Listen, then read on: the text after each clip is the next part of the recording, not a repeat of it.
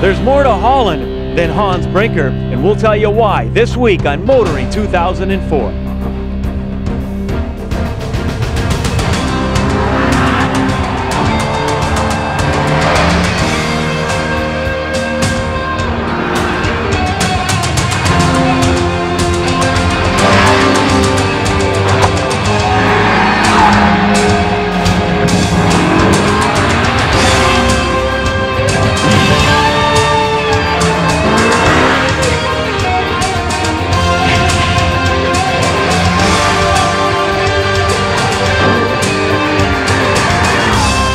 TSN's Motoring 2004 is brought to you by Quaker State Motor Oil. Oils fine tuned for different engines. And Midas, Total Car Care. We do that. Ah, beautiful Amsterdam. Lots of things to see and do. Of course, let's not forget that red light district and the infamous coffee shops with that wacky tobacco. But we're not here to look at those. We're here to talk about tires. Now, don't touch that dial. I know when most people hear tires, their eyes begin to glaze over, despite the fact that tires, without a doubt, are the most important safety component on our vehicles today. But here's a little tire trivia for you. About 162 companies actually produce tires on this planet each year, but seven of them control 85% of the market. And it makes you wonder how the others survive on that 15%. Well, one of the survivors is actually located right here in Holland. The Vredestein Tire Company has been producing replacement tires since about 1947.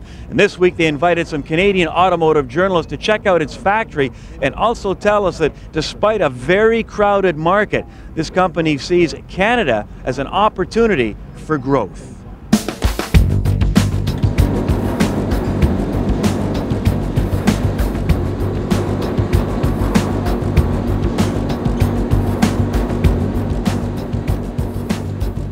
Uh, is a Dutch company. Uh, we are uh, building tires since more than 50 years, 55 years now. Uh, our main market is Europe. Uh, the tires we are building is personal car tires, uh, commercial van tires, and tires for the agriculture. 90% of our business is exported outside Holland. Um, and some of that business is exported outside Europe. Uh, one of our growing uh, markets is the US and Canada. Present Tire is a uh, wholesaler in Canada and we operate a network of 172 stores across Canada and uh, we specialize in passenger and light truck tires.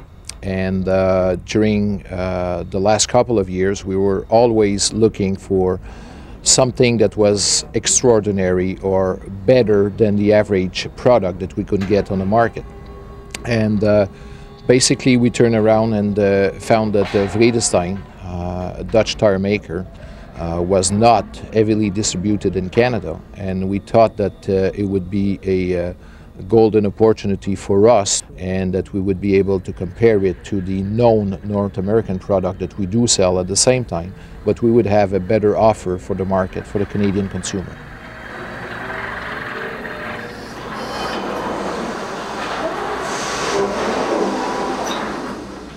We spend a lot of attention on the look of the tire because we think that a tire, of course, has to be good. That's the basic uh, condition. But uh, a, a, tire is, is, is an, a product which is uh, not only, uh, you know, in the buying decision, there is not only the ratio, but there's also the emotion. And we want to add the emotion to the rational uh, thing behind it. Very seldom it is sold uh, as a safety product. You know, you just buy it. It's sold as a commodity. A tire is not a commodity. You can have all kinds of safety devices in your car, but if your tires don't do the job, you have a problem. I'm now 12 years with Vredestein, but long before that, Vredestein built uh, automatic assembling machines for personal car tires. The cyclist time, for instance, is 32 seconds. It is an amazing uh, machine. Uh, we have six of those. Uh, it's three stores high. It's a, it's it's really an incredible machine. Um, it allows us to be competitive uh, with lower cost countries. It has the big advantage that we can produce constant quality. We really believe in automated and semi-automated uh, uh, manufacturing methods. Today, uh, people, uh, the connoisseur, they are more and more uh, traveling on the internet and they're uh, seeking information. So they become uh, much more knowledgeable uh, in the tire and the equipment of the vehicle. And the moment they start looking, especially on European site, they would find that uh, Vredestein is always at the top of the test. Uh, always figure out to be the top five in any categories of product.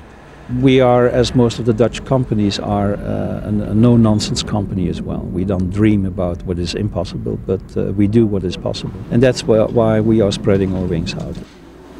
Canadians like to complain about the winter, but Yeah. you kind of like it, right? Oh yes, we do, we do. The, the only difficult thing with winters, uh, at least over here in Europe, is that you never know how long you will have a winter. yeah. But what we are dreaming of is that we need two weeks of snow in November and two weeks of snow in January, Oh, our year is fantastic. You know what I stand for. Do you know what your car company stands for? More later on Kenzie's Corner.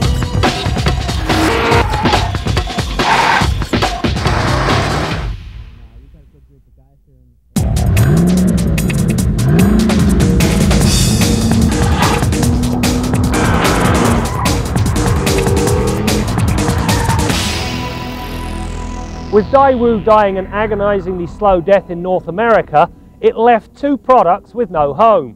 Enter Suzuki. It inherits the new Verona and the subject of this edition of Test Drive, the all-new Swift Plus.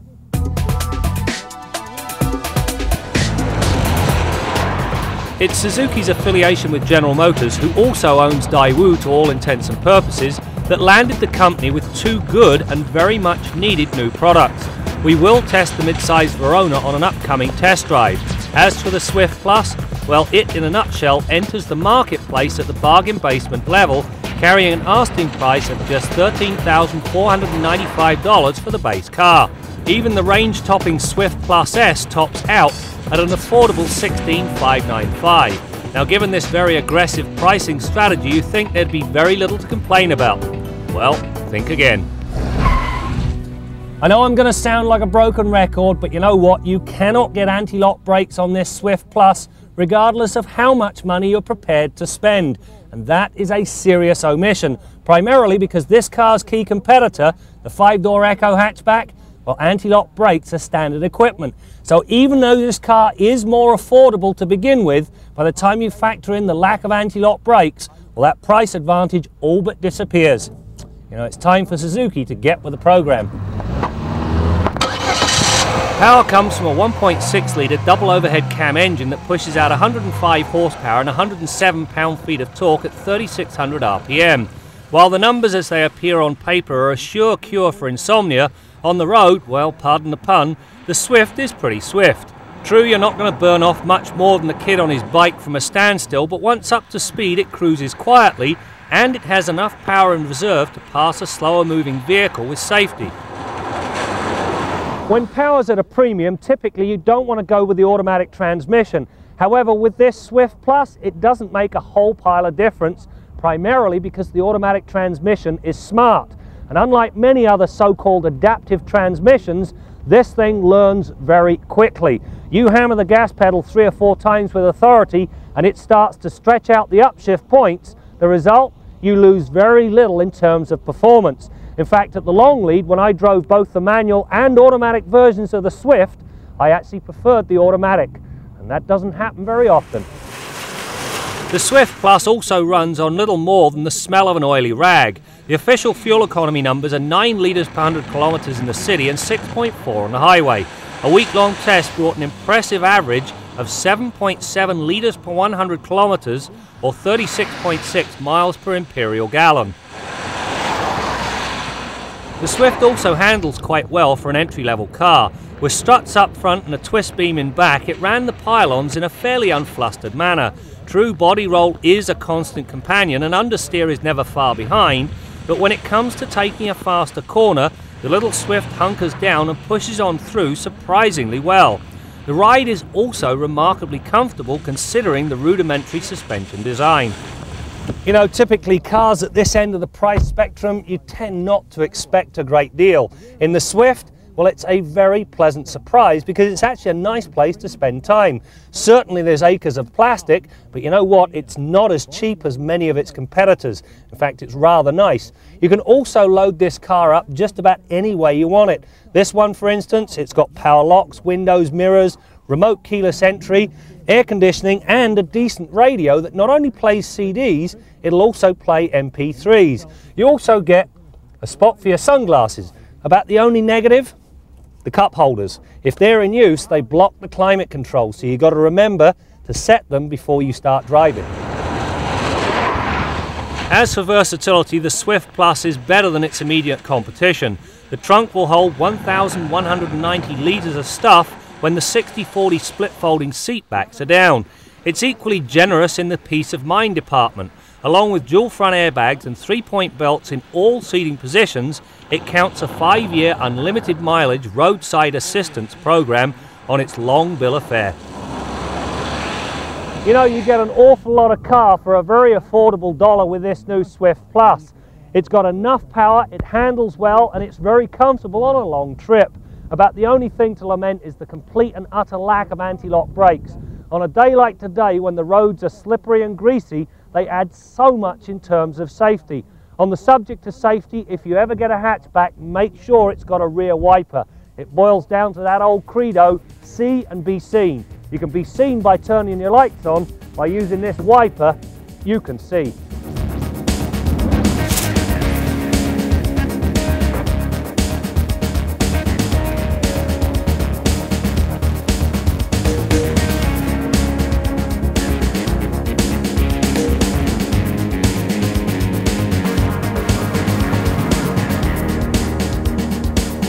Our Midas tip of the week concerns maintaining adequate fuel level for winter driving.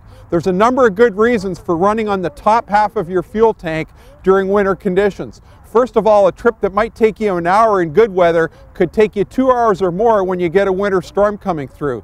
You don't want to get caught out on a limited access highway have the traffic come to a stop and you can't reach the next exit before you run out of fuel. You do not want that to happen. Also, the added weight of a full tank of fuel will assist traction in most cases. Also, it helps to minimize condensation in the fuel system.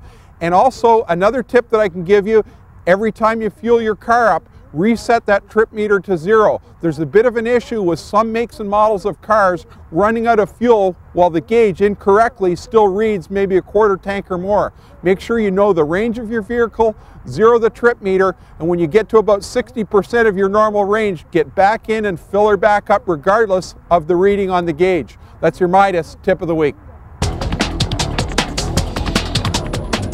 We have integrated two wheel hub motors into an electric S10 vehicle.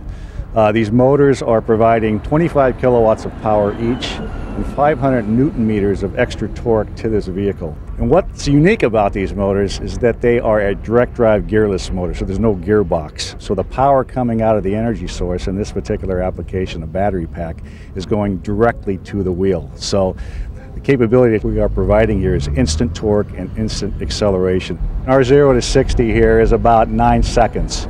Okay, this is a very, very heavy vehicle. It's got a battery pack that's, you know, a, a thousand pounds in it alone. So we think there's applications in hybrid vehicles that General Motors is going to be launching here in a very, very near future.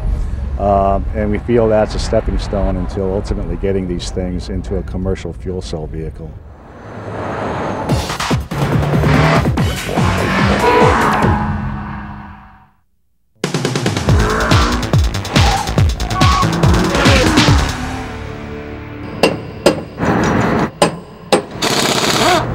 Call it CarStar Starplex. What's unique is that it's the latest design in collision uh, repairs, uh, in uh, actual flow through of the work, and also in uh, latest equipment. Three, two, one. The car it belongs to myself. It's a 1998 Mercedes, and uh, we've invited the press here to show that uh, I have the confidence that if uh, my vehicle gets damaged by kickboxers, that uh, I have the confidence that it will be repaired properly and it'll the cost containment will be right, the turnaround time. This vehicle, if the damage is under $2,000, we'll have it out in 72 hours. smashing a car with a hammer. That uh, that seemed to make a lot of sense. It, it's it's something maybe everybody should get a chance to do once in a while.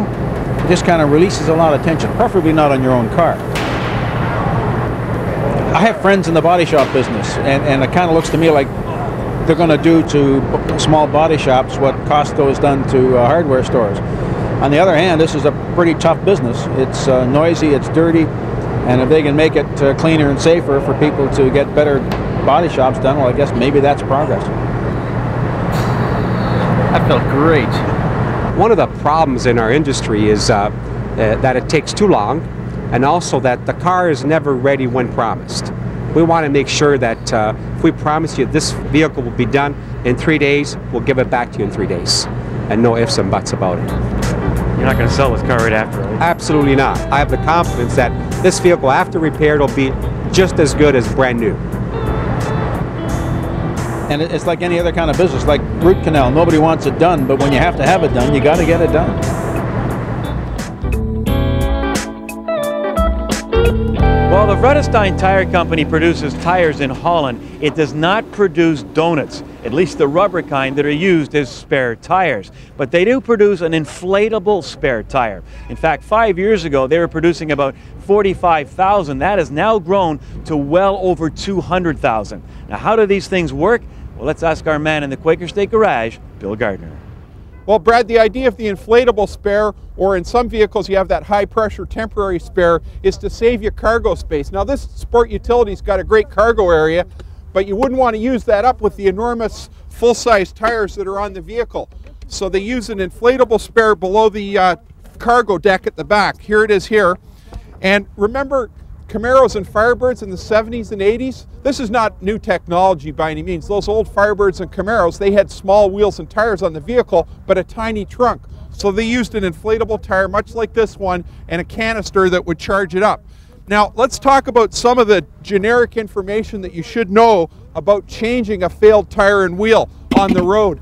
Now I've stopped for a lot of people on the road and helped them change spare tires and one thing I've noticed is that many times they stop the vehicle in a dangerous position. They haven't got it out of the path of traffic or into an area where it's safe to install a spare. And their thinking, nine times out of 10, is that they don't want to ruin the tire or ruin the rim.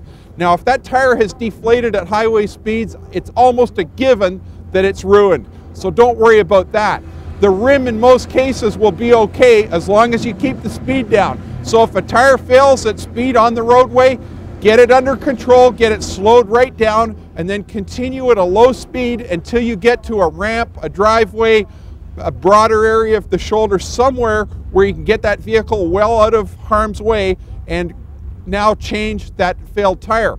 That's the number one consideration. Then get your owner's manual out and follow the instructions carefully. Remember things like breaking loose the wheel bolts before you jack it up. That's very important too. But your, your owner's manual will walk you through these instructions. And it's not a bad idea to do a dry run someday when the weather's really good in your driveway, just so that you understand all the equipment and all the procedure involved. Now, one thing that I did notice about when we read the owner's manual for the Touareg, in this particular case with the inflatable spare tire, it's only suitable for use on the rear axle of this particular vehicle. So there's a little bit of a problem. If you get a flat on the front, you've got to jack the back up, take a good wheel off the back, install the spare on the back. Once it's bolted down, you charge, up, charge it up, inflate it, and it expands to its full diameter. Then you've got to let the back end down, take the good tire you took off the back, the full-size tire and wheel, go up to the front, jack it up, take your failed tire off the front, and move one of the rear tires to the front that's a lot of maneuvering and I can't see a lot of people being able to handle that. And you know, Murphy's Law being what it is, you never get a flat on a good day. It's either dark, raining, snowing, or something. So I think you'd better think seriously about getting the CAA membership, boys. Till next week, I'm Bill Gardner for Motoring 2004.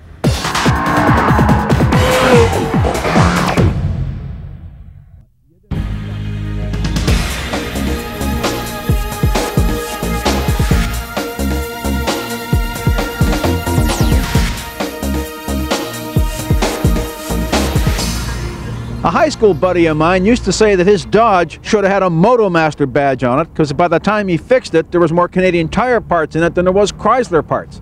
Well, you know, that's not unlike modern cars. Magna, Lear, Bosch, and ZF, they all supply lots of components to modern cars. But who's going to buy a car that's got Bosch on the hood? So the car companies establish these brands, try to get the public to understand that certain attributes go with these brands. If you associate with those brands, you buy the car. Take Saab, for example, maybe not the best known brand in the world, but it has a pretty strong brand image. Aircraft related, lightweight, front wheel drive, key on the floor. So what's the next model going to be? A Chevy Trailblazer SUV with a Saab badge on the hood. What's that got anything to do with anything Saab has ever stood for? You've got Porsche, lightweight sports cars that win at Le Mans, right? Their current vehicle, a joint venture with Volkswagen to build a 6,000 pound truck. Excuse me, I don't get it.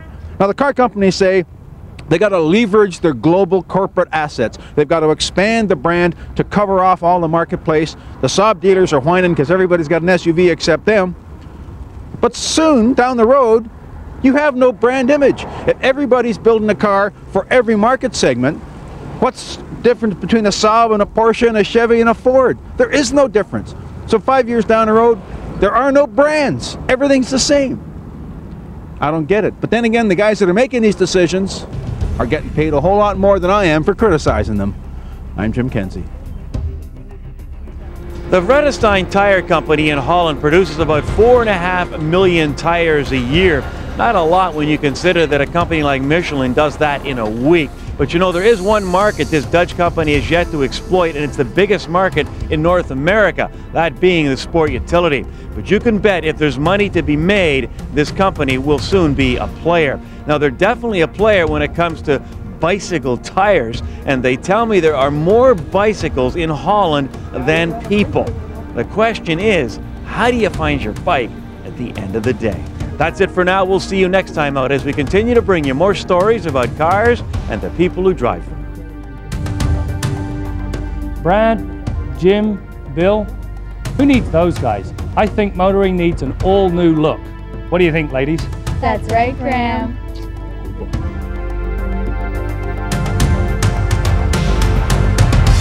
TSN's Motoring 2004 has been brought to you by Quaker State Motor Oil, oils fine tuned for different engines, and Midas, Total Car Care. We do that.